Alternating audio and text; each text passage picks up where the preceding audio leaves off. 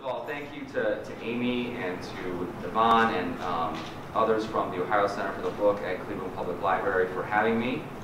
Um, writing a book is a, is a long, good journey.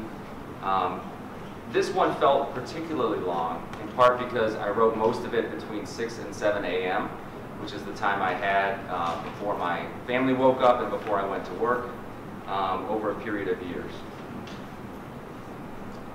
And I'm gonna I'm gonna start by uh, by reading a poem that is a little bit about that process.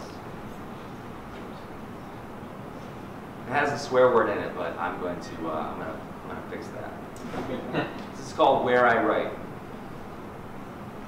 On envelopes, napkins, backs of bills, in the grocery store line, at red lights until the cars start honking, in the garden, my hands caked in dirt at my desk, avoiding eye contact with the to-do list. At the playground, tapping a poem in between cartwheels. My muses are sirens, trains, barking dogs. The slide where someone wrote a swear word. The flowers Vicky planted before losing the house. The library where five-year-olds climb in my lap.